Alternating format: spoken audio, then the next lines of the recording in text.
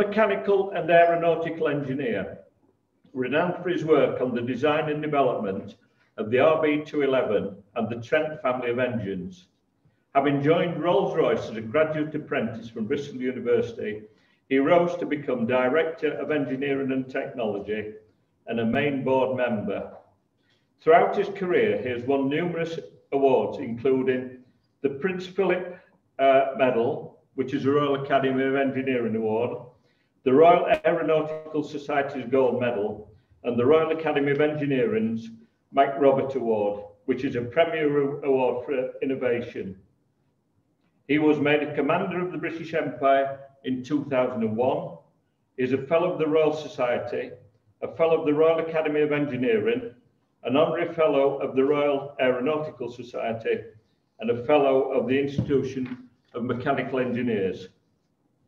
As you may know, he's published a book on the RB211, History of the RB211, and has kindly brought a few along for sale.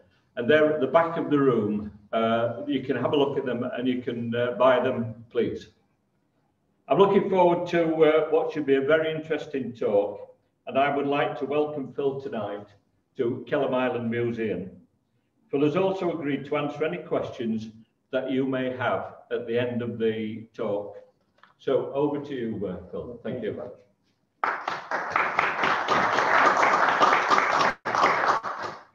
Well, good evening, everyone. Thanks very much for inviting me. It's, uh, I must say, it does look an interesting place, and maybe a few minutes afterwards, we can have a walk around. I don't know. Um, the story of the RB211 really starts at around about uh, 1960, um, when the company decided that it needed a new large engine to replace the Conway center. Um, and that engine was given the designation RB178 because you'll see some pictures coming up with 178 on them. Um, at that time, the, the, Conway was fitted to the um, uh, Boeing 707 and Douglas DC-8.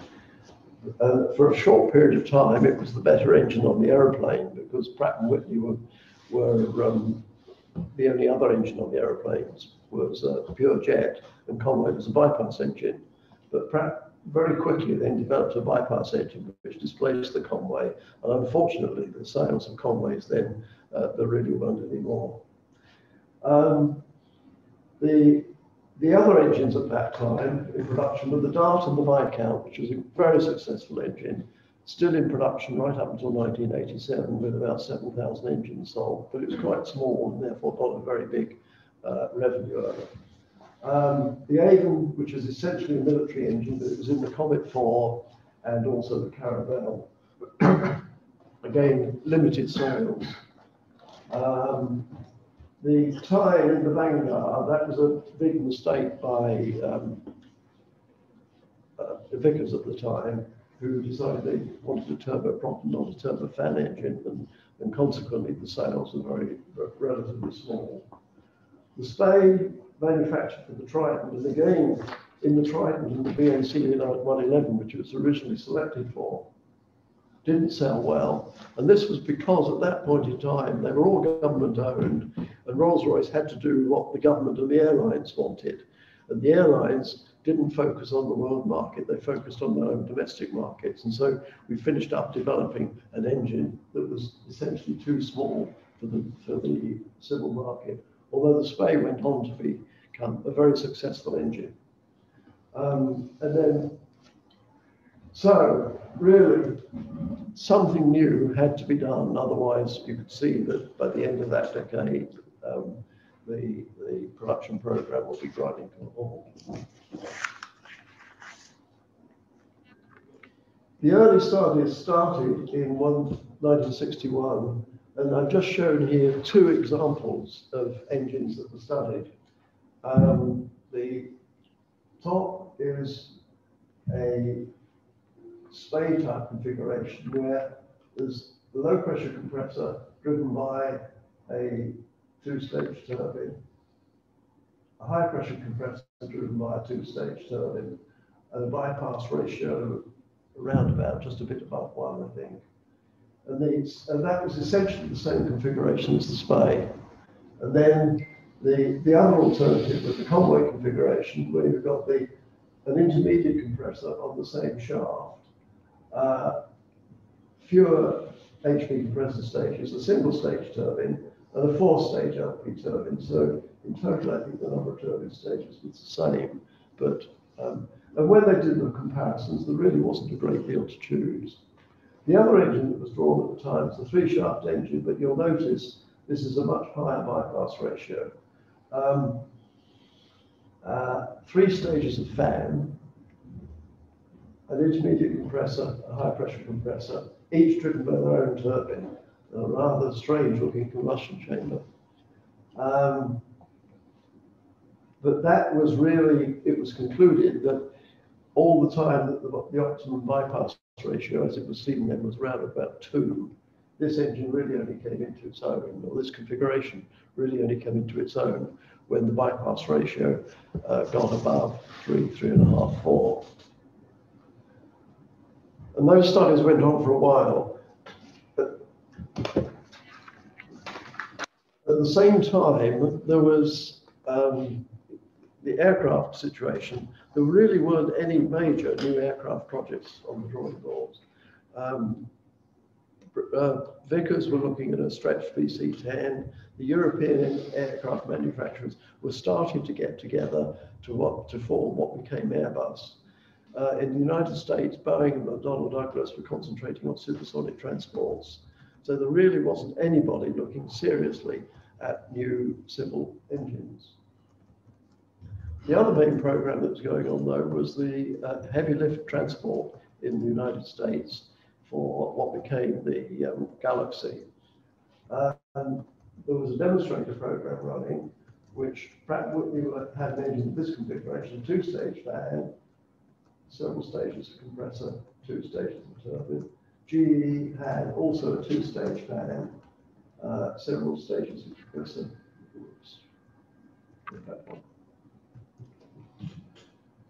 And uh, again, five stages of turbine. But you'll notice both of them had two-stage fans, despite the fact the bypass ratio was high.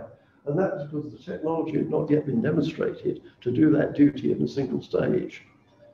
Um, they were, however, using fewer compressor stages than Rolls was projecting at that point in time, because again, the compressor technology had not advanced very much compared to the previous generation. The one that really was a surprise was the, the GE engine, which was running very much hotter than any temperatures that we can considering, and also significantly higher bypass ratio. This was now in 1964, 1965. Meanwhile, Rolls-Royce worked up its studies to a point where it defined an engine, the 178-14. Um, this is its configuration, a three-stage fan, four-stage booster compressor, three, six-stage, seven-stage high-pressure compressor, and four-stage turbine, five-stage turbine, uh, one HP and four LP. Uh, the thrust compared to a Conway was 27,500. Specific fuel consumption was 12.5% better, barely enough to justify launching a new engine. Pressure ratio got up from 17 to 20, bypass ratio from 0.6 to 2.3, turbine temperature from 1275 to 1400 K, 17, 14 compressor stations instead of 17, five turbine stations instead of three. Weight a bit higher, but the specific weight was down quite a bit from 0.26 to 0.16. The length was substantially shorter, and the diameter was up from 45 as the fan diameter, 45 to 62 inches. And that engine was then run as a demonstrator engine, and was frankly was a bit of a disaster.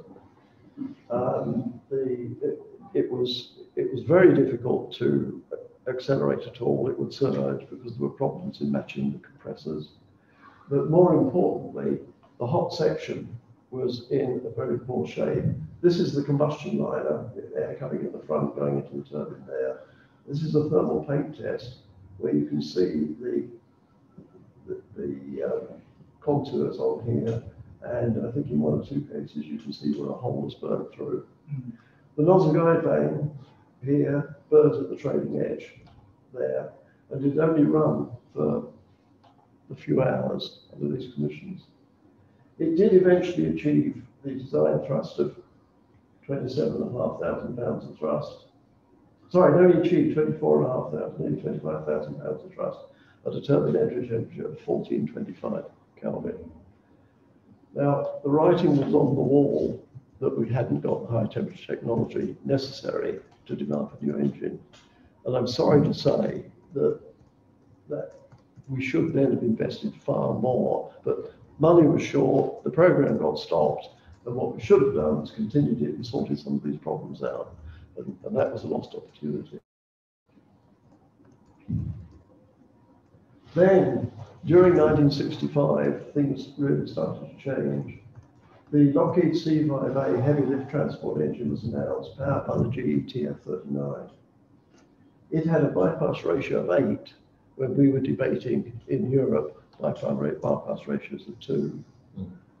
Um, and that caught everybody, including for that matter Pratt Whitney by surprise. At the same time, Pan Am asked Boeing for a new aircraft two and a half times larger than the 707, which became the uh, Boeing 747. And they, they, they saw that the C5A, or the demonstrator program that preceded the C5A, uh, had provided the basis for a new engine. Um, Rolls-Royce decided to offer um, a new engine, the 178-51, which was the three-shaft engine, and Pratt Whitney, but Pratt Whitney was selected in April 1966. I, I think we're not we're not surprised that we, we lost that, but it was our first attempt to actually get into the American market. And it was important that we got into the American market because the you can see the problems that happened if we followed the European manufacturers historically. Um, they, they never accessed the, the market. And this is the engine that was offered um, single stage fan, by now we've done some testing of single stage fans and convinced ourselves we could do it. Um, six stage compressor for the IP and then again six stages for the HP, single stage turbine driving the HP turbine, single stage turbine driving the IP compressor, sorry, HP compressor, and then a three-stage turbine, four-stage turbine driving the fan. It was argued at the time, and I think with justification, that it had the optimum aerodynamics. It was a short and rigid engine, and this became quite important as time went on. Because one of the, or by necessity, one of the things that you would get with a two-shaft engine is you have to put more structures across the, with the engine to support the bearings consequence of that is it's a lot stiffer and therefore keeps the engine a lot rounder. And that became quite important when we got into service with um, reducing, minimizing deterioration because clearances didn't open up as much. Improved operation, that was because it didn't need variables. Um, so it, it would handle quite well because the compressors automatically match themselves as you pull the throttle back. Better growth potential, again, well proven subsequently, because you could grow the engine in one of two ways, and we did both. You could just put a bigger fan on without affecting the rest, or you could uh, increase the pressure ratio of the IP compressor to get more flow through. And both were used during the subsequent development. Whereas on, on the two shaft engine, if you change the fan, you have to do a new booster compressor or if you change the booster compressor, um, you, you, you start loading servers up. And because of the stiffness of the structure, it had good performance potential. These were the arguments used in the marketing at the time, and I think turned out to be factual when the real engine went into service.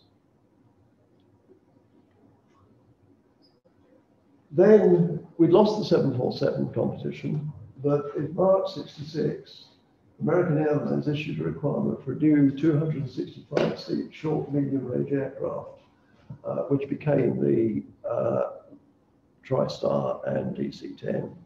And at the same time, the Airbus consortium was forming in Europe and to launch what became the A300 engine, the A300 aeroplane. And as I say, Lockheed and McDonnell Douglas studied them.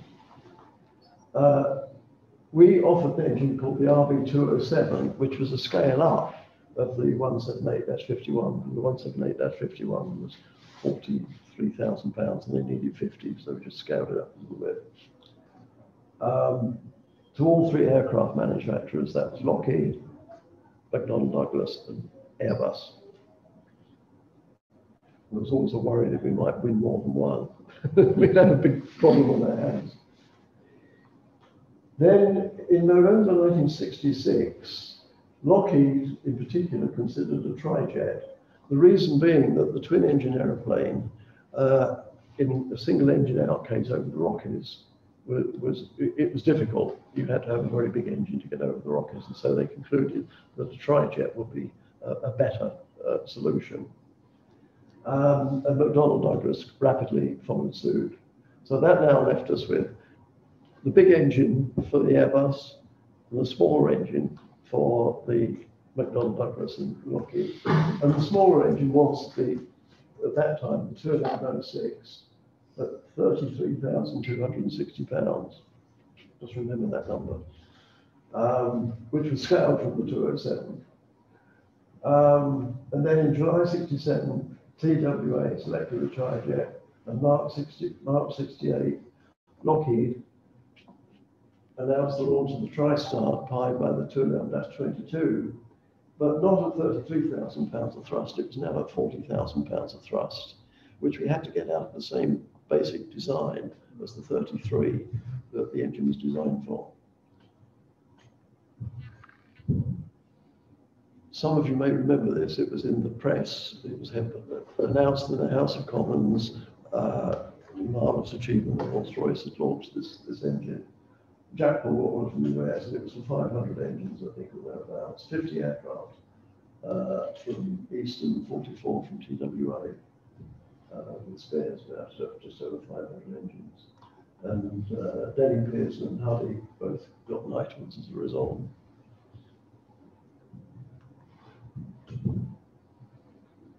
Oh. So, um, just to recap, the 06 was 32,000 pounds of thrust, uh, 22 was 40,600. As the program proceeded, the engine got heavier, and so did the aeroplane. And so we then had to commit to uprating it still further to 42,000 pounds of thrust, which is an enormous growth from the design. And this was without essentially changing the, the overall dimensions of the engine. The advance relative to Conway was nearly double the thrust, 21% better fuel consumption, 150 degree turbine entry temperature increase, pressure ratio from 25 compared to 17, fan diameter now almost double, specific weight 10% less. An enormous task.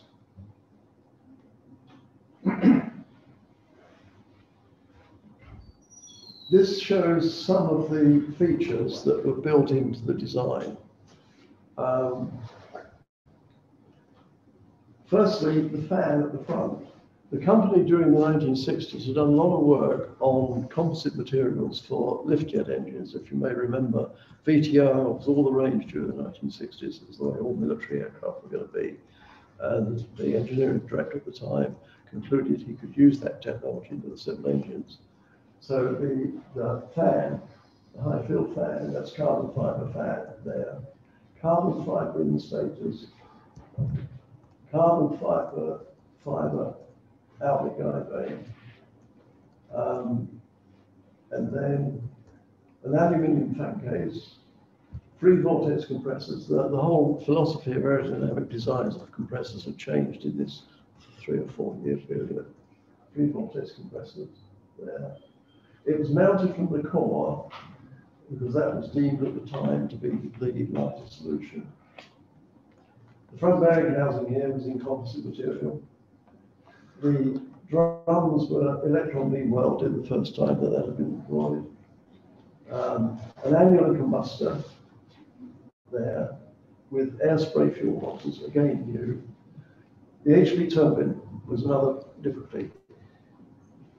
The American manufacturers had focused their attention on using cast turbine blades, and there was a very strong view held by the laboratory that you couldn't guarantee to get rid of the porosity out of cast blades.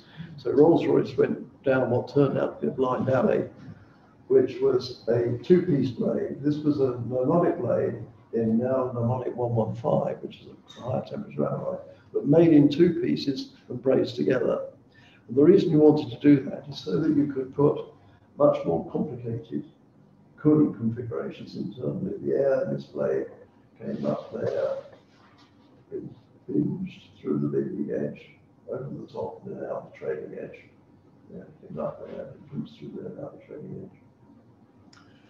Um, but they had enormous difficulty in making it. So the very early engines we had to run with a standard Nimonic 105 extruded blade, similar to that used on the Conway and the Spey, which really hadn't got the temperature capability. And we struggled on trying to get this blade to work, but never did, so it was cancelled. Um, so we went there with this engine running very hot with a turbine that was completely incapable of dealing with the temperature. Um, the LP turbine, though, did have hollow cast turbine blades, um, and actually turned out to be very successful. We ran the first engine on time at uh, the end of August uh, 1968, and I remember it well. It took us a week to start it. Not because of the engine, but because of the Lucas fuel system, which kept on breaking as we cranked it.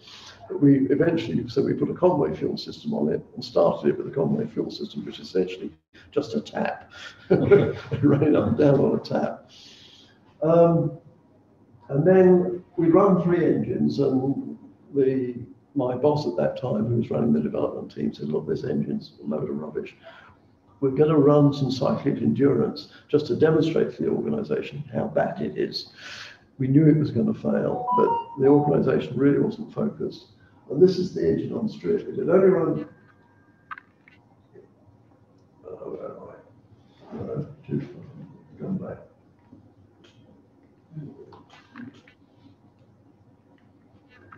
Yes, it had only run 29 hours at 1425. We had to type test with, the, with these high thrusts at 1550. So this is 125 degrees cooler than we actually had to get to.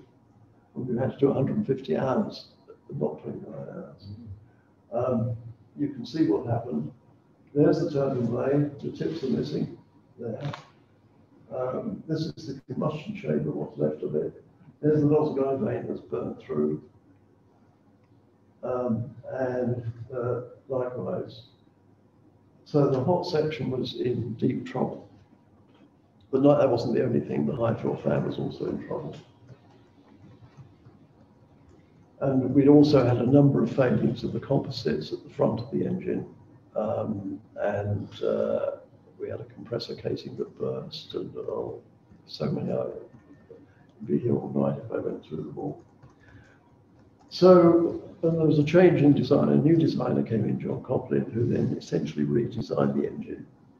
Uh, and this, these are the changes. Still had the Hyfil fan.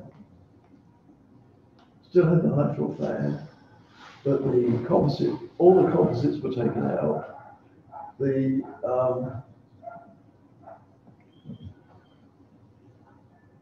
Steel fed out the guide vanes and a stiff structure here. Um, titanium, aluminium compressor case and stators. Uh, steel front bearing housing. But also, at that time, Lockheed came along and said, look, we would like you to mount the engine from the on, on the fan case and not the core, because we think we can now do a lighter pylon. Um, and regrettably, we agreed.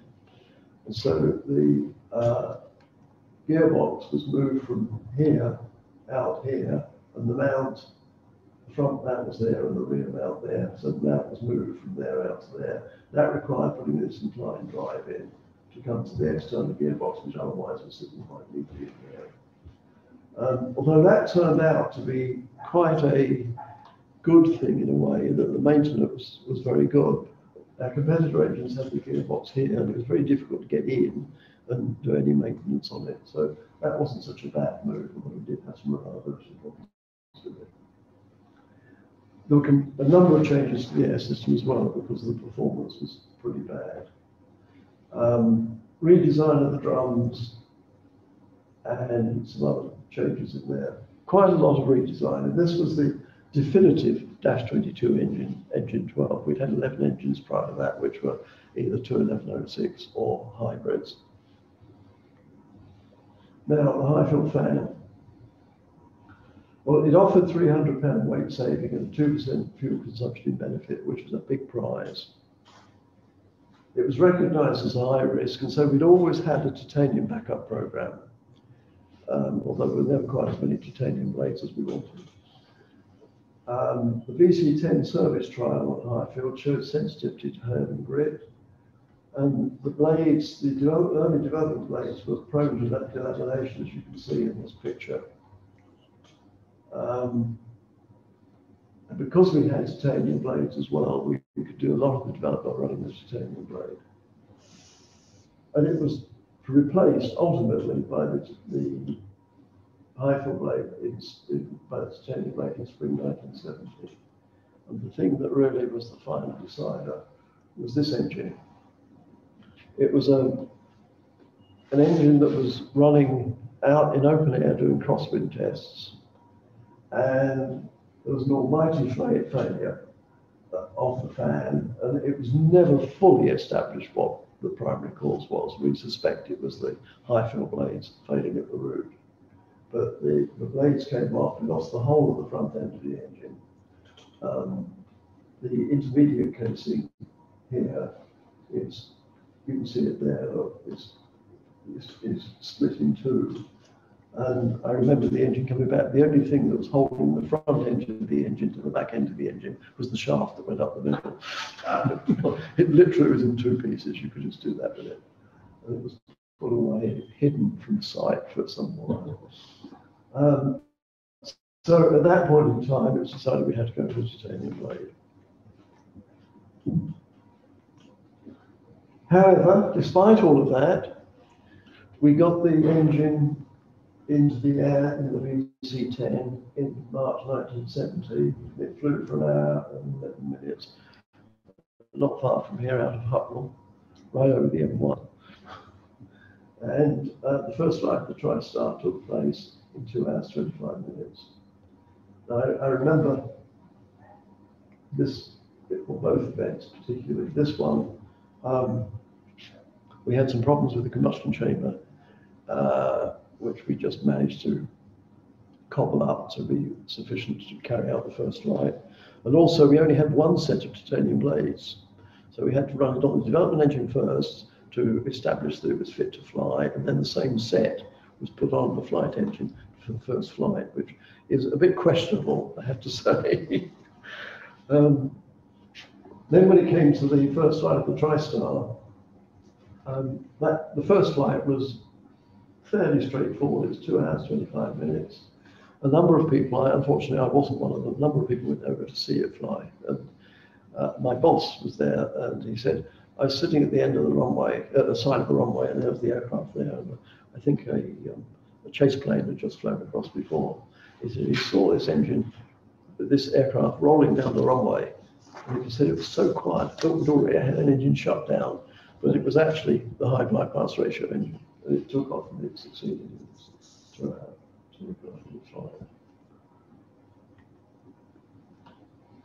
Now, another major problem was the HP turbine. Um, both the nozzle guide and the turbine blade. On the nozzle guide blade, we went through a number of iterations and eventually finished up with um, these two designs. When the engine, yes, after the bankruptcy, we renegotiated the contract with Lockheed and they agreed to take a derated engine um, some six months after the original promised date, and then the fully rated engine a year later. The D-rated engine was the 22C, and the fully rated engine was the 22B. Um, this was the standard dive in the 22C. We redesigned the tube, we put a lot more cooling features in certainly, some film cooling at the trailing edge, but it was still prone to burning at the leading edge. Um, so we went to the 22B, we reduced the number of vanes from 54 to 36. And one of the reasons, for the two reasons for it, one, you get better aerodynamics on the nozzle guide vanes, but the other is we had 18 fuel nozzles. So if you clock the fuel nozzles to be in line with the holes, 18 of the 16, then the hot spot went between the vanes instead of hitting the leading edge. And that worked quite well. Um, and also by then we introduced film cooling. We got higher pressure feed into it, much more film cooling. And that vane thereafter did pretty well. As I'll show you in a minute, performance was also a problem.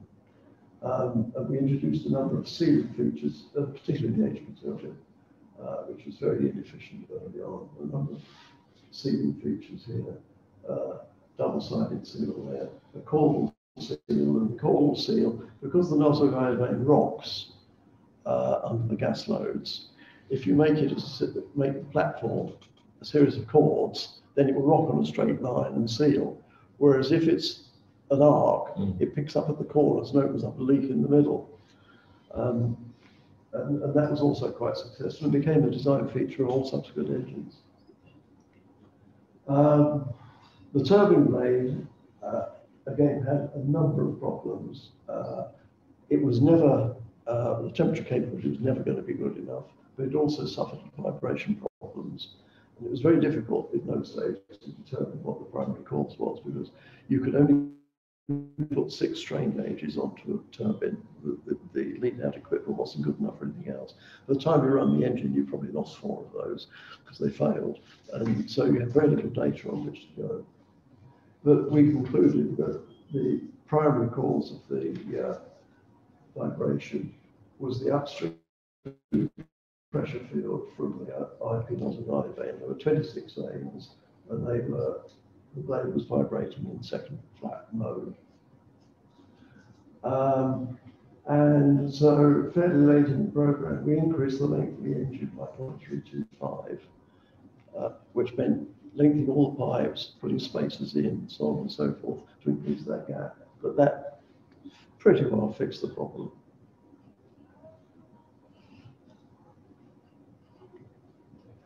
Performance. This chart shows the blue is the actual thrust achieved on the test bed. So the very first engine got up to 16,000 pounds of thrust. The red is the calculated thrust if we were to run it at 1442, it failed before we got to 1442. Um, so you can see we were right down here, and that's the same all the way through. Um, the first 22 engine is engine 13. So there was a significant improvement over the early ones, but you can see the thrust at uh, tight temperature was only 32,000 or so, not sufficient to complete the flight test program. And we didn't improve that. Um, these were the first flight engines, those, uh, that was the first flight engines. Then the first production engine supposedly was, was that. Still only producing 34, 35,000 pounds of thrust. And so it was decided that we, and I was given this job, um, we had to build a demonstrator engine where we put everything we knew in to improve the performance in order to um, uh, demonstrate to ourselves and everybody else that we could actually achieve the performance. And that the engine that ran that was 10,011 one, which was up about 36,000 pounds of thrust. It actually achieved over 42. And that was sufficient to complete the flight test program, but not quite good enough to go into service. And so all flight engines have been delivered, and there were a large number of them, uh, were all upgraded to that standard. and that was until its second build. And then, so the, the first, the upgraded flight engines were then there, and then the batch five flight engines there, and 22C production engine there, and then later on, 22B engines. Now, that particular test occurred on February the 3rd, 1971, on 2011. The company went into receivership on February the 4th. Mm. And I, I was on the test bed that evening, and that is me with, with uh, the engineering director at the time.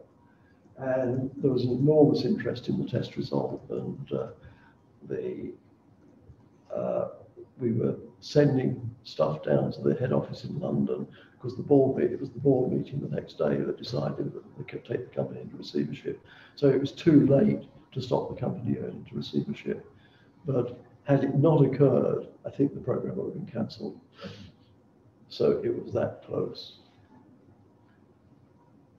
Um, and that, that's a, that, that's two other engineers, uh, performance engineers, that test results. So why did the company go into receivership? Well, this tells it. The profit plan that was drawn up at the start of the program, the launch cost was 88 million pounds. The reasonably called 1971 pounds. And the R&D was 69 of that. And that increased progressively until just in, in, in 1971, the launch cost was 197, that's what, um, two and a half times, isn't it, for that? And the R&D element of that was 166. So predominantly it was the R&D cost that gone up. Same time, the production cost, the profit plan assumed, no, the profit plan assumed a production cost of six hundred and thirty-two thousand pounds for the basic engine, ninety thousand, oh, God, I keep talking about. Ninety thousand for the pod, uh, but of course there are only two pods because the centre engine is one pod, so the propulsion system cost was so much. That escalated such that at the time of the bankruptcy, it was point one million. Um, significantly above above the actual selling price. So a price was renegotiated with Lockheed uh, in order to accommodate that increase in cost. And so the program continued. From, from February the 4th, 1971, until we went into service in April 1972, the progress that was made was absolutely astronomical. I, don't think it's ever been matched since. So Stanley Hooker, who was at the time technical director, said the only uh, time he can remember in his career that it was equal was when they were developing Merlin in the Second World War. Um, we upgraded the flight engines three times in 12 months. 3,000 hours of bench running were increased in 12 months, um, whereas we were doing less than 1,000 hours a year before that. 450 hour type tests completed between January and April, that's in four months. And that takes you typically, it's two weeks to run the test and the time you've, so- so it's, that's assuming you're run 24 hours a day. Uh, type approval was achieved in February 72, uh, but it was 8% derated because it was the Dash 22C. And a year later, we achieved type approval for the 22B, in 1973. So we managed to get into service. It was actually four and a half months late, although the negotiated contract was six months late. And this shows you the, some of the, that's the combustion chamber. You remember that combustion chamber we saw earlier? Well, that's the safety combustion chamber now, at least it's all there. Lots of vanes in pretty good condition. Turbine blade with just a little bit of oxidation there but um, not bad, but as you'll see in a minute, not good enough. Now, in that, more or less in that 12 month period, these were some of the major design changes that were introduced. Um, because we'd gone to titanium fan, we had to do a completely new uh, um, containment system. We hadn't actually demonstrated the ability to contain, so it wasn't just a development program, it was a technology program and a development program to get the containment system right. It was established during some of the design analysis that had that bearing failed and overheated the shaft, we could have a fan shaft failure, which would let the fan come out the front. So a secondary shaft was put in to avoid that happening, fail-safe shaft. We'd also continue to revise the aerodynamics through the compressor and have to strengthen the stators. The HP compressor casing on the old design was a, a brazed construction of stators and it, used to go out round or you couldn't keep it round. It wasn't even round when it was new. So that was all replaced by a, uh, a completely new compressor casing, a ring construction with T-slotted stators.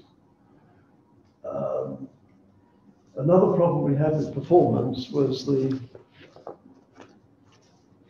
the turbine blade moves rearwards, determined by the temperature down. The stator, which it was engaging with, was determined by the temperature of the cold casing at the outside. So the turbine blade would march rearwards and the seal would come out of engagement, so we used to get non-leakage over the top. It, and because of the hay, it had moved so far, it was very difficult just to correct it by uh, adjusting the seal. So um, it was decided to change the location. The engine had both an inner and an outer combustion casing. And the stator, stat static seal member originally was located off that cold outer casing. Well, that was switched around such that it was now located off the inner casing, which was located at the front here. And that grew a lot further so that the stator followed the rotor. More, not, not exactly, but it was much closer. And that made the seating of the turbine very much better. Um, we had a number of changes as we started running at full conditions. Uh,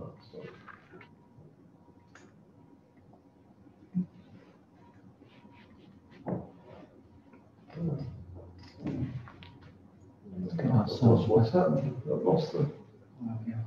Like that.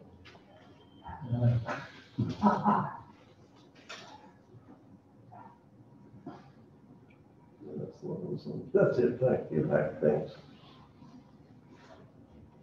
You can say that. Everyone speak out over my head. Um, where was that? Yes, here. Um, when we started running uh, at full pressure, the inner combustion casing started expanding and, and yielded, and had we continued, it would have actually burst. So a very quick and neat uh, design change was made where the wire wrapped, you can see there and there, that was a bit like gun barrels, wire, wrap wire around it to hold it in, and that worked extremely well. In fact, stayed in production for many years. Um, and also, there were other problems with the crack. Uh, with the cracking of the um, combustion, combustion head, and there were stiffening rings were on for that purpose as well. Um, on that fair fast. Yeah, the this joint, which didn't have a disc in it, was centric, was growing outwards and, and over stress, and had got a disc in there to hold the. This is the joint between the turbine and the compressor. Um, what else? Oh, the air system was changed quite a lot. Yes, another important development was the afterbody. We had a, a what was known as a, a 14 degree afterbody on the engine. It is the body between the aircraft and the engine wing. And that was producing more drag than ideal. And our people, our own people, concluded, not Lockheed, that if we changed the angle to 11 degrees, we could reduce the drag. And that made a significant improvement to the, uh, get used to a significant improvement to the uh, aircraft performance. And later on, we actually used a further advance in the afterbody and a 14 uh, 15 degree afterbody, And at that point in time, Lockheed agreed that we had met the full performance specification. Um, and there are a whole host of other changes in the turbines, stiffened bearing heads and pounds, that collapsed at one stage. Increased capacity turbines, that was part of the performance to get more airflow through the engine. And thickened stators because they cracked a little bit too. All of those changes were pretty well introduced inside a 12 month period. It's quite remarkable. Now, we went into service. Surprise, surprise, it wasn't very reliable. This shows, firstly, the shock visit rate against years in service. And you see the turn up here at 1.4. That's roughly every 600 hours the engine was going in the shop. Um, the Pratt Whitney engine, which is on the 747, a much longer stage length, was a bit better, but not very good. And the CF6, which was quite a bit better, was like that. The CF6 and the sort of number pair. Yeah. If you put that same thing on a flight basis, then you see the JT9 in the 747 sticks out like a sore thumb. The 22 is still not quite as good as the CF6, but not so bad, but they were all pretty awful. Um, and this shows the progression that was made over the following 12 years, and we eventually got down to an acceptable rate um, down here. Now you'd be pretty close to zero. You know, the, um, the engines last for 20,000 hours, which is. Um, Right, we've been in service uh, eight, nine months. It was Christmas 1972, 28th December. And we had a fan disc failure. It was an Eastern Airlines failure. Um, and shortly afterwards, then second failure was TWA um, over the Rockies. And so the whole enormous level of activity took place. And the some very clever analysis of the uh, materials in the manufacturing process showed that an A disc is a disc um, taken from the top of the billet, and the B disc is a disc taken from the bottom of the billet. And it, it was demonstrated that A discs were showing indications on inspection uh, at quite low lives, 338 flights or 279 flights. Those are the two that failed, and the other ones were all quite low. And the B discs, except for that one, uh, were quite better, quite a lot better. So a um, a life limit of 150 flights was put on. So we had to replace all the engines every 150, all the discs every 150 flights. Oh, about that. Now, what was the cause of the failure? There, there were really two parts the problem. The first was that we had chosen to a, a material, titanium uh, 685, which was a, new development with IMI. And it turned out it had an undesirable characteristic if it was made in large billets like this, that if you took it up to stress and then came down, up and down, straight up and down, the life was fine. And that's how all of our testing had been done. But if you take it up to stress, hold it for 30 seconds or a minute or so, and then go down, the life falls away dramatically. And that was the problem. Well, that was one part of the problem. The other part of the problem was we were actually getting inclusion at the top of the billet. And um, so the combination of those two led to this problem. So very rapidly, um, very rapidly, uh, the disc was replaced by a 6-4 titanium disc, which is what the competitors were using, and which was well established. Um, and I think in, in, about 15 months, we had reworked the whole fleet. And actually got a lot of credit for the airlines as to how well we supported them, because I don't think there was, during that, any serious disruption to the flight operation. The next problem, one that was very close to my heart, I seem to, seem to get all the difficult problems, um, was takeoff surge. You'd be going down the runway, just at rotation, the engine would surge. Sometimes it recovered, sometimes it was an abort takeoff, sometimes it was an in-flight shutdown, but uh, and that shows against time. Cumulative surge removals by uh, that was in, well, by January nineteen seventy-six, uh, we, fixed it. We had hundred and forty removals for surge. And when we got in the shop, we sort out what the problem was. As I say, so it's either just before or after aircraft rotation. Reworked engines have been through the fit, fitting shop were worse than new. Centre engine position was worse than the uh, side ones, particularly in bad weather because snow used to go down the intake and that um, as an interim, we introduced a warm-up procedure where the, the, pilot had to sit at the end of the runway and run the engine for, um, I think it was a minute at uh, sixty percent fan speed to warm the engine up before he actually took off. Uh, but the basic cause was excessive transient interference and excess eccentricity. Um, took us a long while to get to that point. But so the whole compressor casing was redesigned, and the key features in it were, were certainly putting stiff structures in there, there, there, and there to try and keep it round. Um, and yeah, essentially that was it. Uh, and stiffening the whole casing up. That had the benefit of keeping it round and also slowing its response to match that of the disc, because the disc at times was up.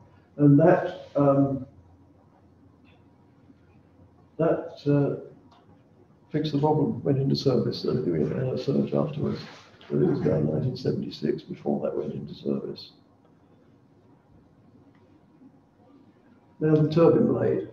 Um, I said that early on that we had the extruded blade, and the best we ever got out of that blade was about 3,000 hours.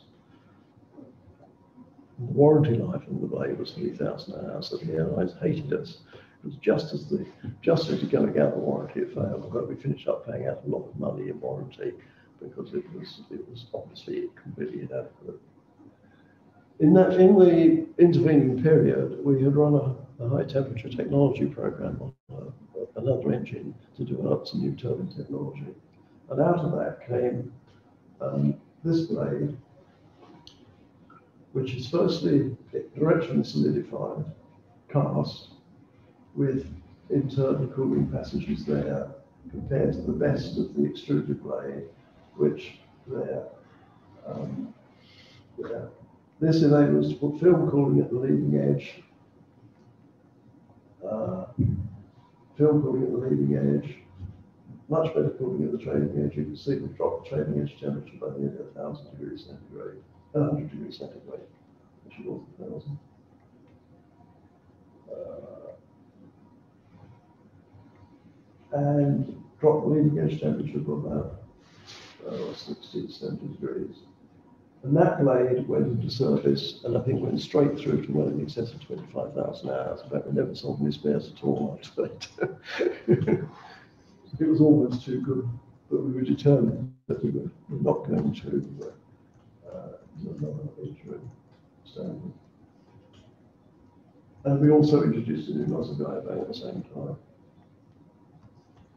Now, by, I had left the program at the time this occurred. This is in 1981, 82, and I moved down south to work on helicopter engines.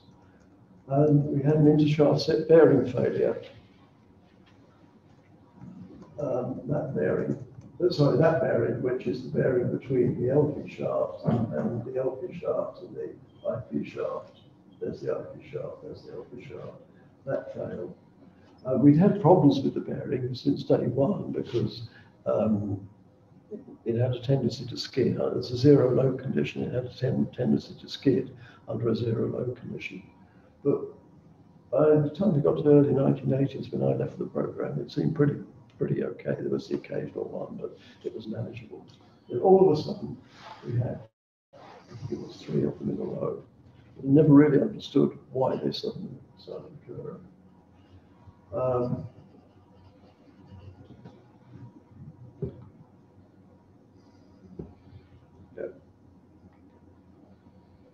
So, what was the cause? Well, there was the, there was metal to metal contact with the bearing loss location, which then led to rubbing and a fire, and then the shaft overheated and failed the fan came out the drum.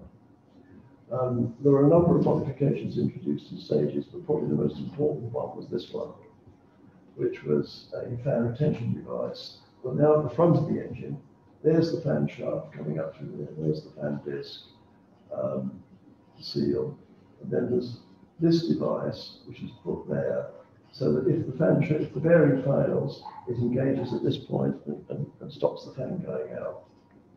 And that was actually run on a test, deliberately failed uh, a test to demonstrate that actually it would hold the fan in, it did.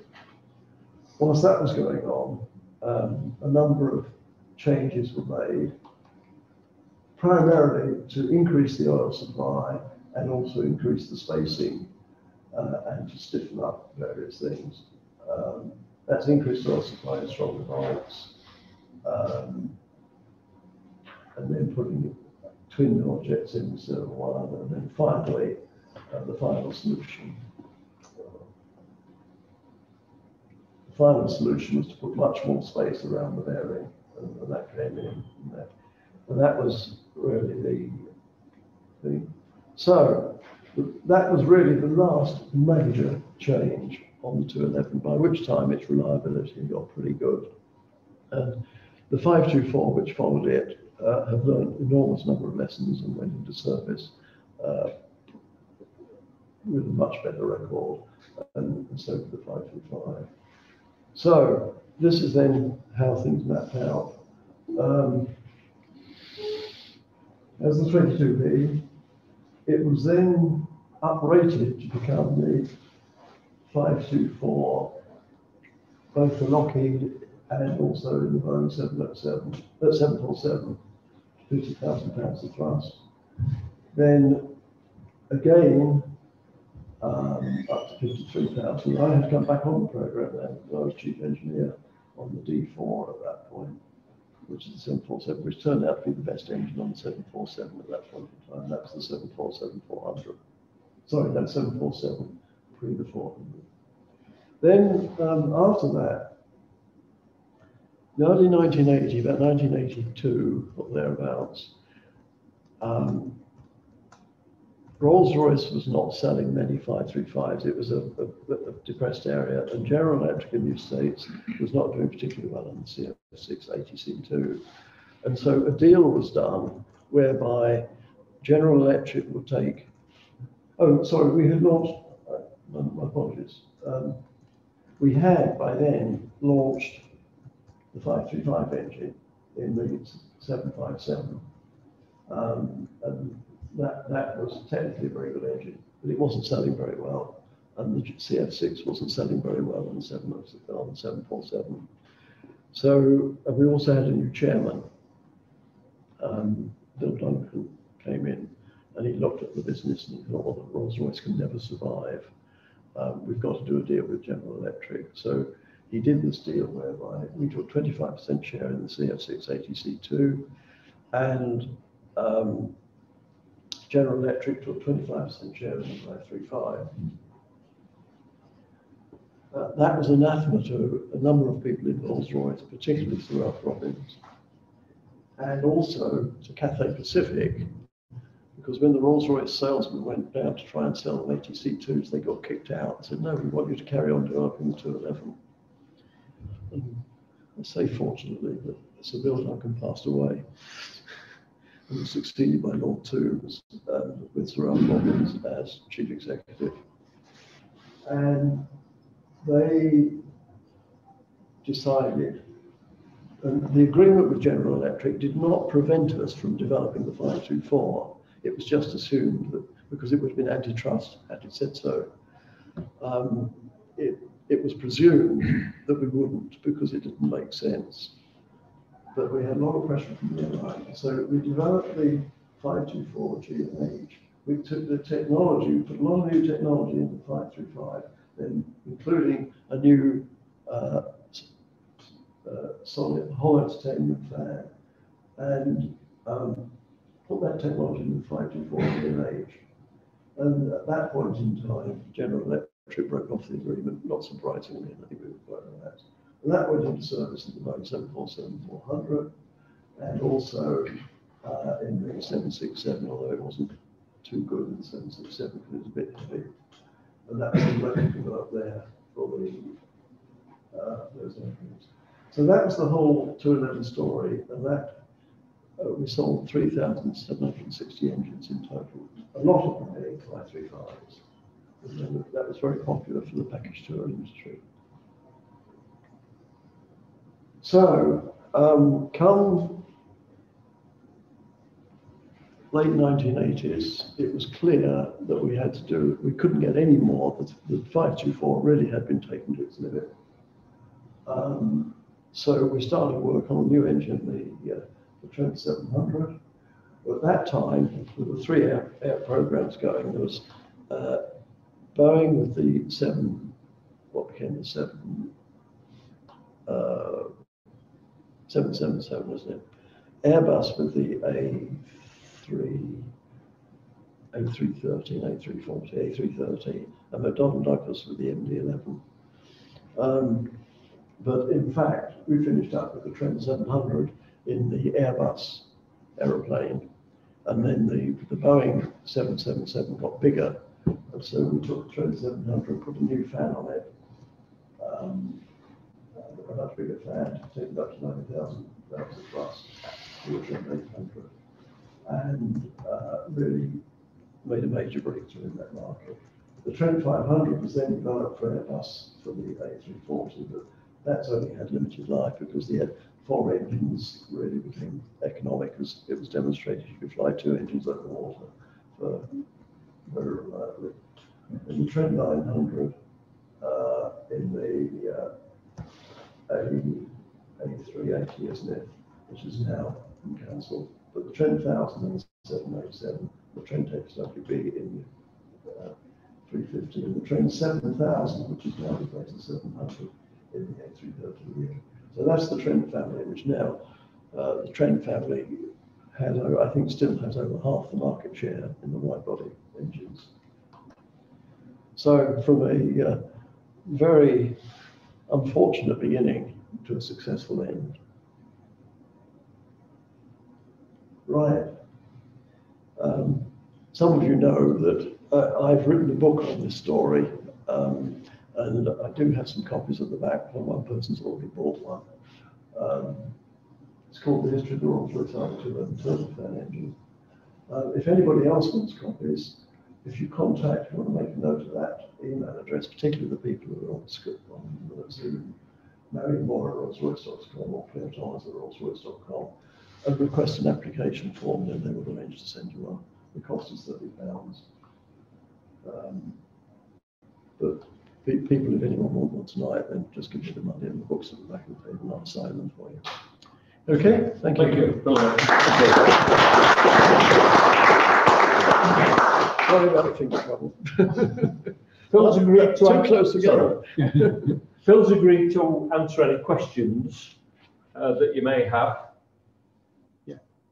If, if people online want to put questions via chat, I will relay them to Phil. I've got a couple of comments already. Uh, if there's anybody in the room to go first though.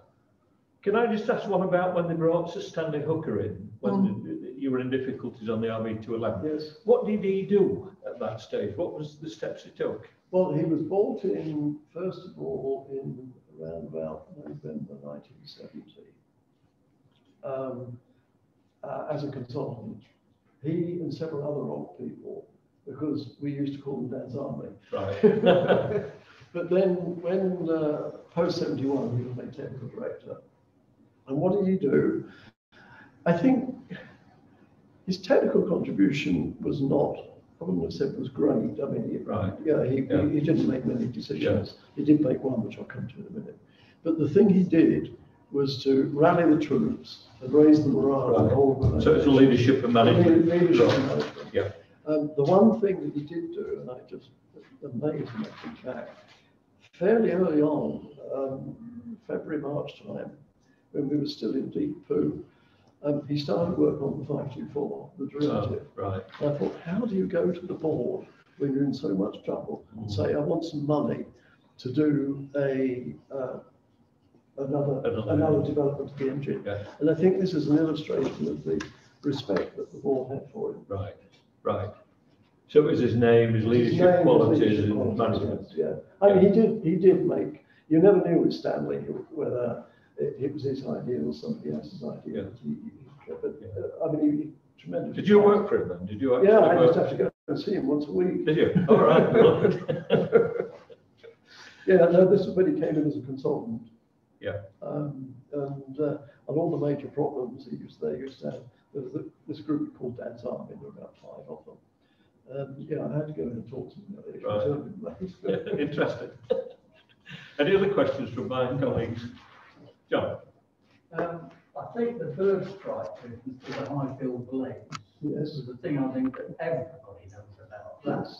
And you've paid very little attention to it tonight. yeah, um, Now, may I ask, it's, at the time it happened, I was a person with a limited amount of experience of working on turbines. And I never thought at the time that the incident occurred. Why didn't they think about that earlier? But tonight I'm asking the question, surely, were there some misleading information available about the Hyfil material that allowed you to go? I wouldn't say it was misleading, I think it was inadequate information. Right, right. Um, I, the, the Hyfil blade, the fill material, it was really, it really should have been a, a technology program, not a development program. That's the fundamental problem. So it wasn't um, an unthought of problem with high fill, that it was very brittle under special circumstances which you didn't realise, nothing strange of that nature. No, I think it was, I think it was, Because it must have been a terrible shock. yes, it was, oh, yeah. But, um, the reason I didn't pay too much attention to it was actually, we did have the titanium backup program. Yeah, yeah. And the other problems, I mean, the press always blames it all on the Hyfil fan blade. Yeah, Well, it wasn't that, it was the hot section, the performance, the things I've talked about were the real problems. The Hyfil, I mean, we ran most of the engines with titanium blades, so it wasn't actually holding the program up. Um, the biggest problem was persuading Lockheed that we, yeah, we were gonna have to increase the weight and, and, and, the fuel consumption, although we actually met the fuel consumption in the end by other means. Yeah. No, I, I never worked on the Hyfil blade. Um, I just remember it, but I mean, from the time we started running the first engines, you, you run them for a few hours and you go down, they were like a shaving brush. It was a disaster. I think we've got some questions online. John. Yeah, there's quite a few online. Uh, it's probably a good time to come in because the, the, the first one is on, on the Hyfil blade. Fred Starr said, why, for what was the reasons why the Hyfil blade gave a 2% fuel saving efficiency? What was the factors behind it? Oh, um, yes. The, the, firstly, it didn't have a snubber. And the snubber on the titanium blade sits in the, uh, roughly around Mach one. So about the worst place you could ever put it. So there's quite a big loss there. There were probably some basic aerodynamic benefits because it was a wider core, fewer blades, so it's probably fewer lower surface area. I can't remember now. Um, and no, what was the other reason? So No, I think they were the main Ba- ones. Basically, Yeah, uh, uh, yes. it was a better design. of better, it was there, better aerodynamics, yes, yeah. Following on that from that one, then Fred came on again. Um, Fred did a lot of work with British Gas on British Gas Research, and he's saying that the industrial RB211 was used by British Gas on its pipeline network Yes, very extensively. Um, and that used the Nimonic 115 blades. no, it hadn't. The early two eleven had a Nimonic one oh eight blade. Yeah. Oh, it had Nimonic one one five in the IP turbine, but that was a, um, an uncooled blade. Yeah. Okay, uh, so basically then Fred went on to say, when did Rolls-Royce introduce cast blades and were these made by the firm in Bristol? We introduced them on the two eleven in 1979, 1980. Um, no, they were made in Derby. Okay. Yeah. Okay.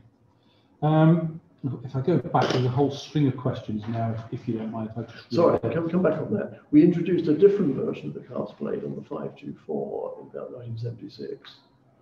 So, but Um, the one I showed here was in nineteen seventy-nine.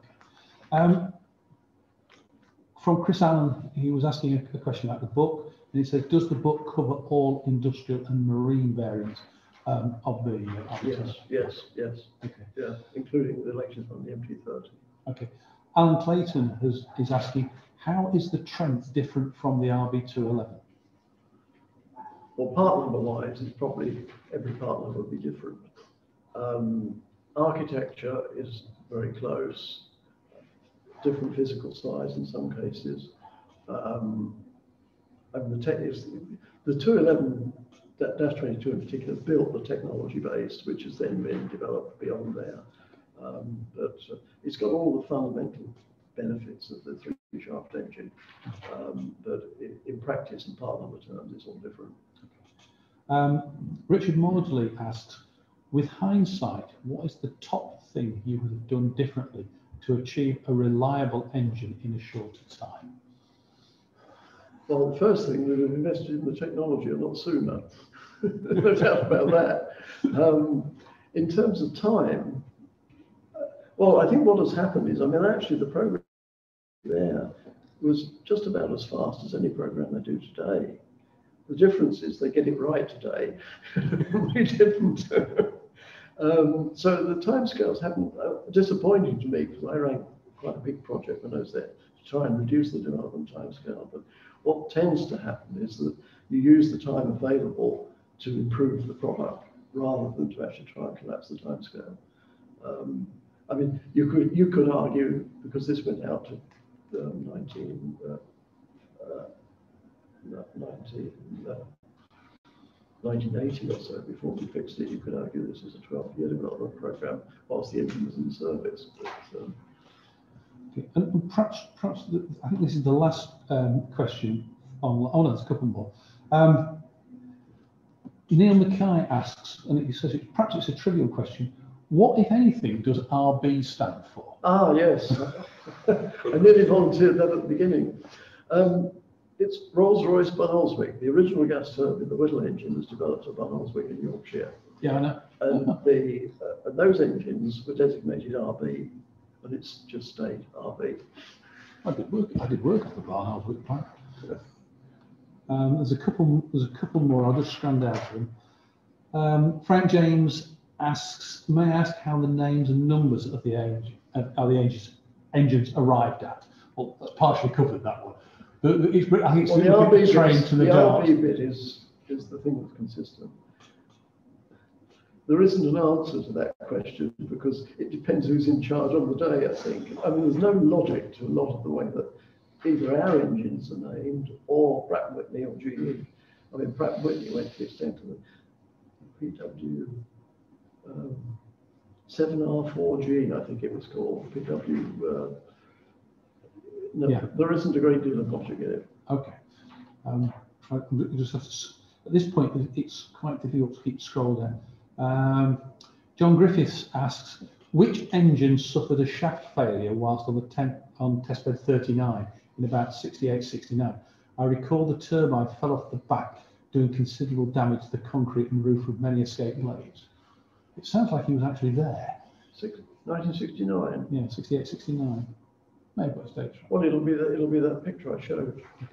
The, the, uh, it'll be engine, engine 11, I think it was, which is one of the early dash 22. That's the only engine available at that time. Okay. I'm sure it was that one. Um, and Justin says, very interesting. Many thanks to all of you for organising and especially to, to Phil for his talk. Thank you. That's, that seems to be the last of the, the online questions. Any questions from the audience in here tonight?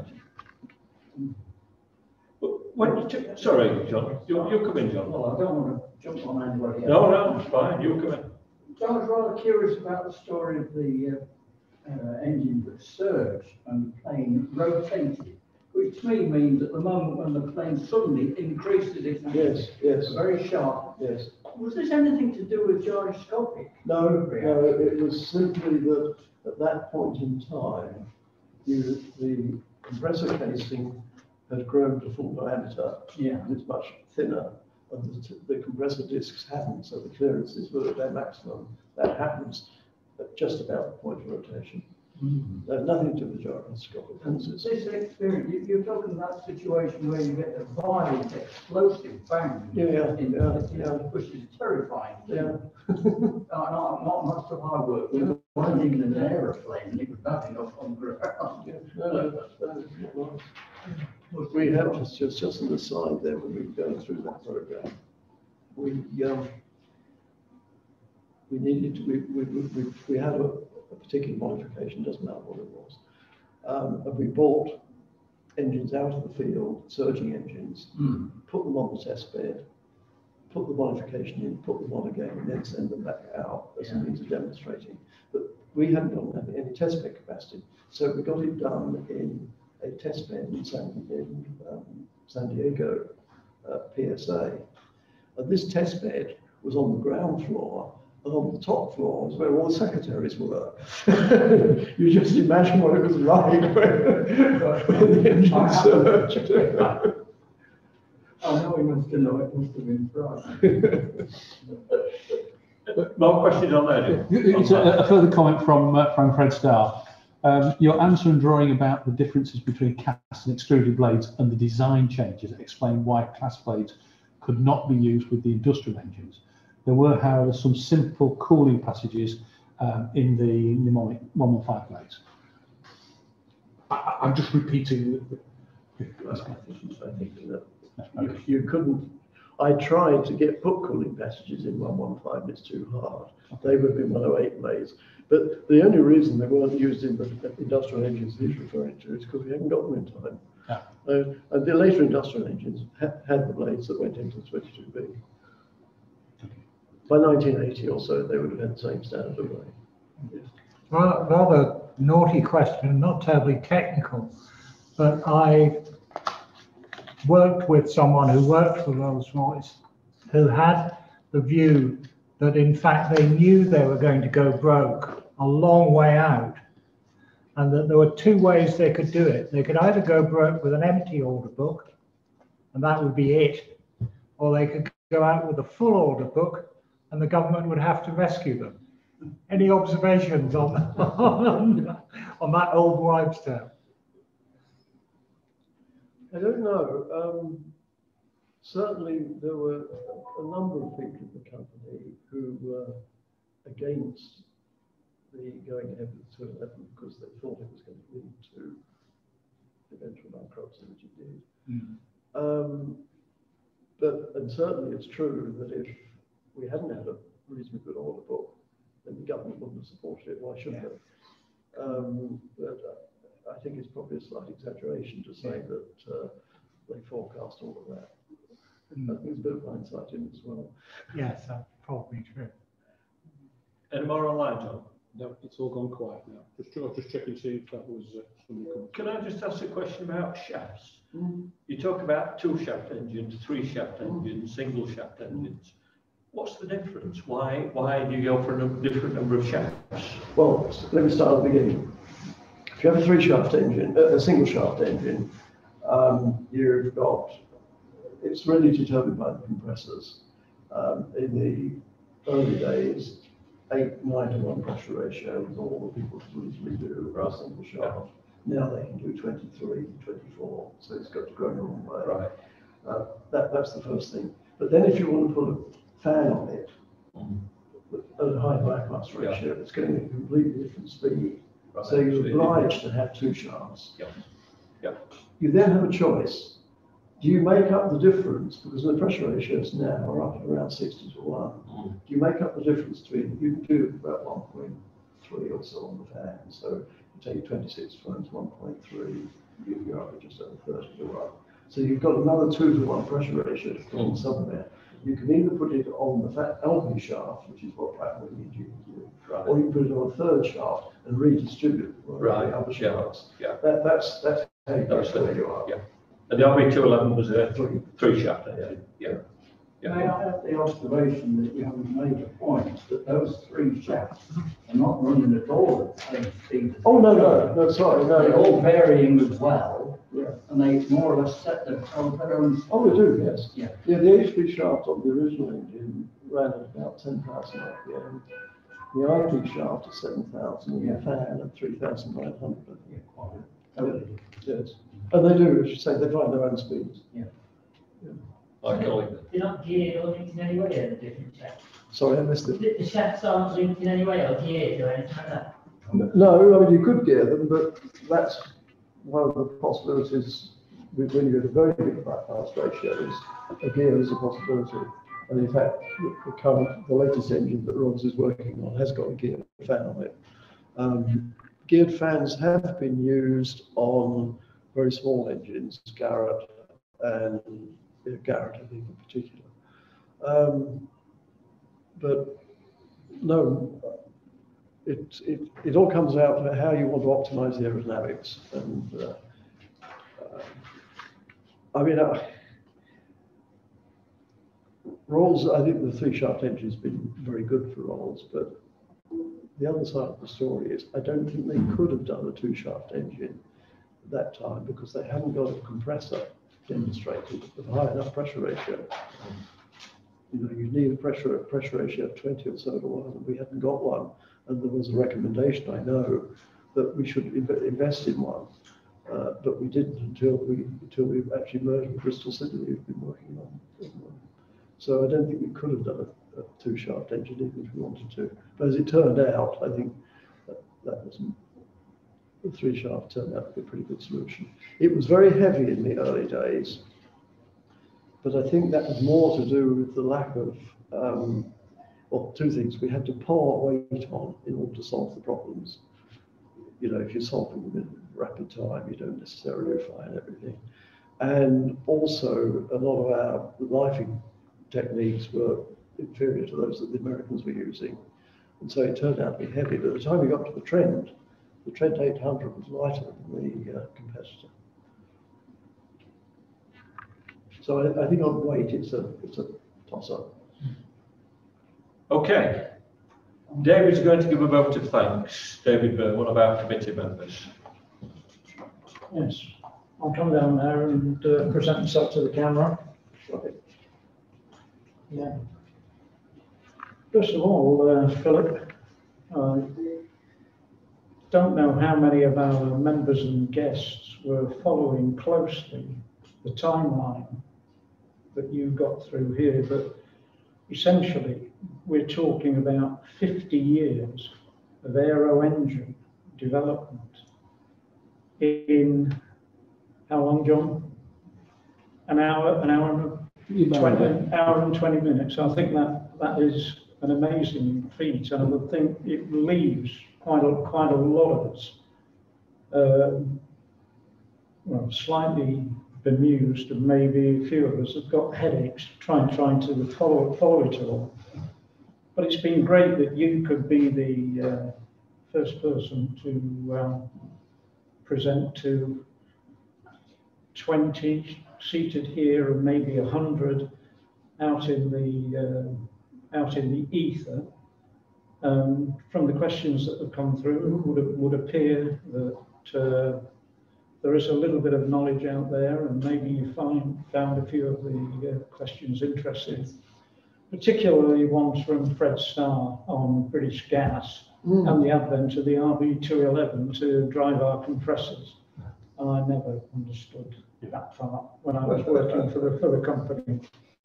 But uh, yes, this uh, never-ending search for performance that you achieved, it occurred to me that you'd embarked on something like a 10 to 15 year development program for the engine, faced with tremendous competition out there in America with the advent of the uh, Boeing 707 and 747.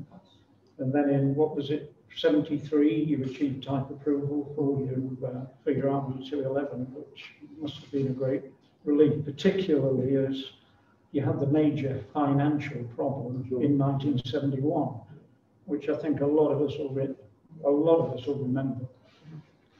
Um, but not wanting to you know, go on too much. I think what I'd like to say on behalf of uh, the Newcomen Society, Sheffield branch, on behalf of David and also John, our new, uh, our new president, thank you, thank you very much for attending. Thank you very much for giving us a, uh, a very, very, uh, and somewhat academic approach to the RB two eleven and latterly the Trent engines, which are, you know, sort of now part of the mainstay of Rolls-Royce Aero Engine Division. So I'd like to, uh, Okay. thank you, thank you very much. Thank you.